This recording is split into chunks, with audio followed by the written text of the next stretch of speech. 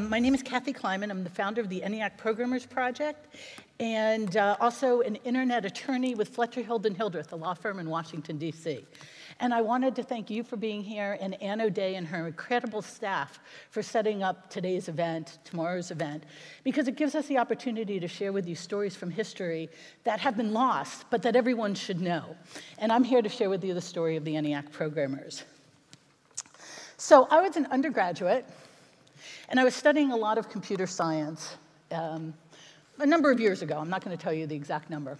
And uh, I came across, I was looking for women in computing as role models. There were very few women around me. There were very few women in my classes, there were very few women in my summer jobs, and there were very few uh, female faculty. I don't think there was any female faculty. And so I came across a picture. Um, I actually knew about Ada Lovelace and her work with uh, Charles Babbage, and I knew about Grace Hopper, who then was Captain Grace Hopper with the US Navy and would go on to be Rear Admiral Grace Hopper. But Ada Lovelace was in the 19th century, and Grace Hopper was in the 20th century. And one woman successful in computing per century did not make me feel warm and fuzzy about the field. So I went looking in history. Were there any other women? And I'd been programming for seven years at that point, and I'd only heard of Ada and Grace, who are marvelous. But I came across this picture. This is the ENIAC. The ENIAC was the first all-electronic programmable computer. It was a secret US Army World War II project. And um, it was eight feet tall, 80 feet long. It took up three sides of a large room, as you can see. So I found this picture, and the men were in the captions. And they deserve to be. The man leaning against the pole is Dr. John Mauchly, and the person with his hand on the switch right next to him is J. Presper Eckert. These were the co-inventors of the ENIAC. This was their vision, and they built it during the war. So of course they deserve to be in the captions. But the women, there are women in this picture. And I wanted to know who they were, and they were nowhere to be found in the captions. So I took the picture to my professor, and he sent me to a leading computer historian. This picture was taken in 1946. I was asking the questions in 1986. And the leading computer historian assured me they're models. They're women posed in front of the machine to make it look good. And I was like, wait a second, hold on. And I went back to work and I found more pictures of them. And I was like, wait a second, these women don't look like models. They're beautiful, don't get me wrong. But I had this theory in my head that they looked like they knew exactly what they were doing. I didn't think you could put someone in front of this huge machine and have them look as confident as these women look. The theory in my head was that they were posed for the pictures, but that as long as they were there, they were going to check the switch settings. And it turns out that's exactly what was going on. Because I tracked them down. And they're not with us anymore, but I would like to introduce you to the most incredible women I've ever met. Uh, starting top left is Jean Jennings Bartik. Betty Holberton and uh, Ruth Lichterman. Uh, no, I'm sorry. That's Fran Bilas Spence. Coming down, second row left, the gorgeous picture of Marlyn Wescoff Meltzer and her best friend Ruth Lichterman Teitelbaum, and then Kay McNulty Mauchly Antonelli. So I found the women. Uh, Ruth was no longer with us, but I got to know Jean, Betty, Marlyn, and Kay really, really well. And they had this story to tell the story of how they had been recruited by the Army, because for the most part, they were math majors. And during the war, the Army had run out of male math majors and needed women. And so they were brought in from all over the country. Jean came in as far as from a farm in Missouri out to Philadelphia to work on the project.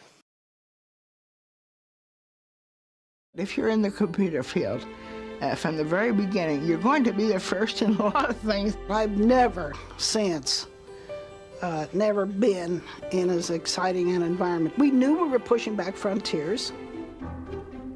In February of 1946, six months after World War II had ended, America learned of a secret army project called ENIAC. It was the first all electronic digital computer. Yet the tale of ENIAC's programming by a group of young women has been all but erased from computer history.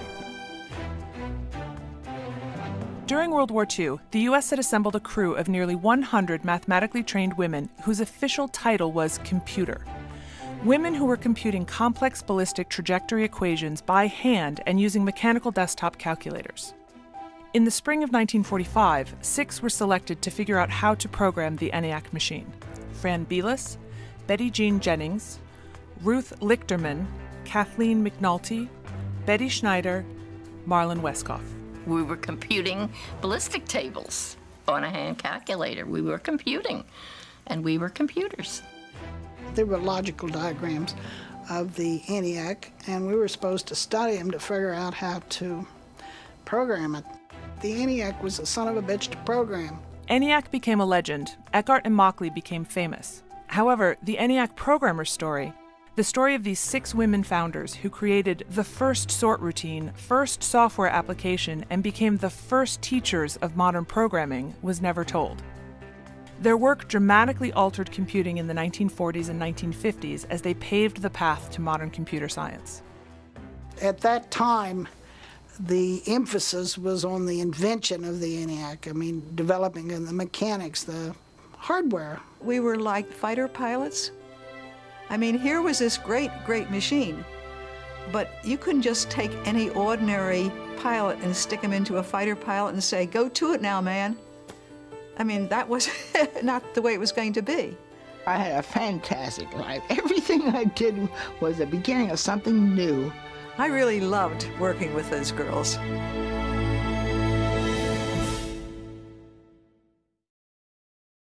A little later.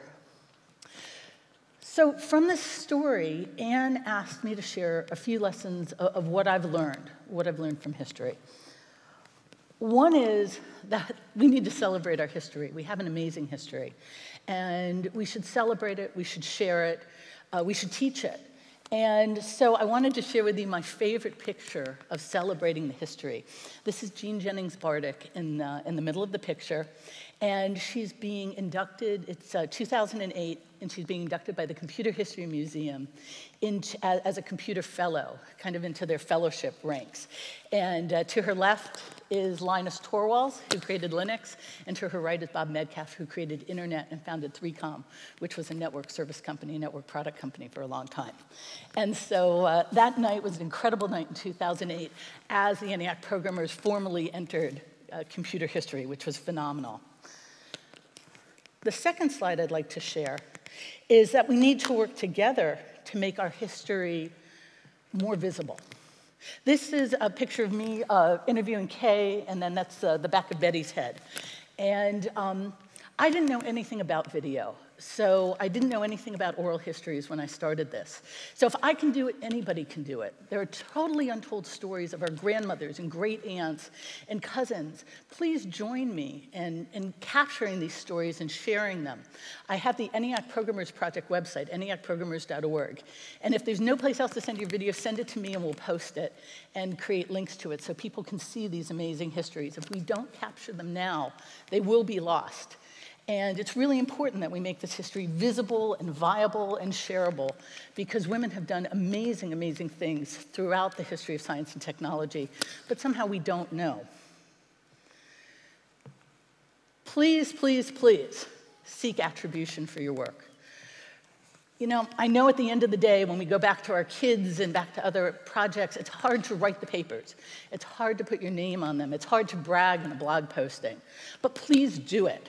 It sends a message to your colleagues and to your managers and to young professionals around you and to students and to the future that women were very involved. If you don't do it, it's hard for future historians. So I, pro- I wrote, you know, leave breadcrumbs for future historians. And this paper, um, which you can't quite see in the slide, it's, it's kind of a, a copy of an old paper. And um, when I first met Betty Holberton, she had had a stroke. And she was telling me these stories of creating the first sort routine, which later became the first software application for UNIVAC 1, which was the first commercial computer. And there was some, you know, again, I, I was told the women were models and that they hadn't done anything very important. And there was some question about the accuracy of what Betty was telling me. And so I said, wait, let me look and see if I can find some other confirmation of her, of this work, of these stories she's telling me. And I went to the Library of Congress, and there it was, this paper. And it, it, absolutely confirmed everything she was saying. It was written just after her work at UNIVAC. And um, after that, nobody questioned her memory anymore. It was, it was very, very accurate. So please, please put your names on things and let people know. This is my fourth piece of advice, and this one's a little hard to talk about. I wasn't sure whether to talk about it, but it's been so valuable in my life, I wanted to share it with you, which is consider staying involved even part time. There are parts of our lives where some of us are going to want to work and have the opportunity to work part time. And Millie Koss, who's actually on the right, not on the left, that's her daughter on the left, um, taught me something that I wound up using in my life. And so she worked at UNIVAC, she worked under Grace Hopper, she worked with Betty Holberton, and she worked in Philadelphia, and she worked full time when she was younger. Then she moved to Boston with her husband and continued working in high tech, but she had children in the 60s, and she didn't want to work full time. And she took a piece of a project home with her. There was no telecommuting in those days. This was flexibility. She took a piece of a project that wasn't cutting edge, it was actually bleeding edge. It was kind of past the cutting edge. It wasn't something that was competitive. I think it was a piece, if I remember correctly, of a, an early printer project. And she took it home, she took the sheets home, and she worked on them when her kids went to school. She worked on them in the basement. And she mailed in the results. Occasionally, she visited the company. Um, and she, you know, and they mailed her new materials, and she kept working on kind of this cutting edge printer technology. And when she chose to go back to work, she went back to work full time and she was an expert in a brand new area. And when I met her many years later, she was still associate director of the Office for Information Technology at Harvard. She had worked for 47 years, and part of that was part time and part of that was full time. But this idea of finding a project that you're passionate about and taking it home was interesting, so I tried it. I had young children in, uh, in the early 2000s, and working as a lawyer was 60, 80 hours a week, and that was too much. So I took home a piece of a, a, project that nobody really cared about. A small group cared about it, but I was passionate about it. It had to do with early internet governance and how we govern the internet, how we create a private international system to run the domain name system. And um, we wound up creating principles and framework for what became ICANN, the Internet Corporation for Assigned Names and Numbers. And 15 years later, no one remembers that I work part-time. They remember that I'm one of the founders of ICANN. And so I, I, I, share this with you. Take home something that you're passionate about and work on it and become the expert, and it makes it much easier to come back into the workforce. And I thank Millie for that information.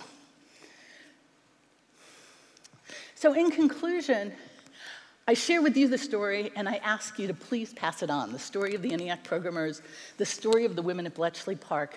Please take these stories with you and share it with the next generation, share it with anybody who'll listen, because these are amazing stories of pioneers we should all know about. And join us tonight in Merrion Square Park. We'll, we will be showing the computers. That orange uh, bar has been updated to talk about the Irish premiere. Um, we were in New York recently. So uh, this is The Computers. It's a 20-minute documentary short, and it's the programmers telling their story in more detail. And as you saw, they're absolutely wonderful. And Jean will say ENIAC was a son of a bitch to program one more time. Thank you very much.